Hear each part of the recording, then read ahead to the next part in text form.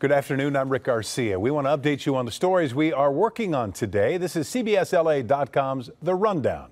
A charter school in Castaic was put on lockdown today after a student made a threat to shoot up the school. Parents rushed to pick up their kids from Santa Clarita Valley International. Officials say a student overheard another student make the threat yesterday. That 15 year old was arrested near his home in Piru. He did not have any weapons. President Trump is threatening to pull federal immigration agents out of California. Speaking at a meeting in Washington, D.C., Trump lashed out at California leaders for what he called lousy management and failure with an ICE crackdown on gangs. State Democrats say California does cooperate with immigration agents, but not for mass deportations. State Senator Tony Mendoza has resigned.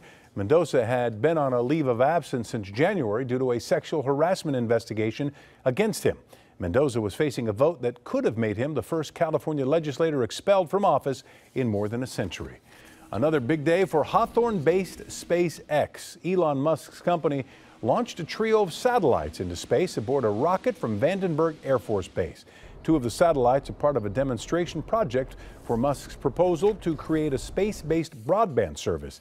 It's being designed to provide low cost internet access across the globe. Here's Garth Kemp now with a look at our weather.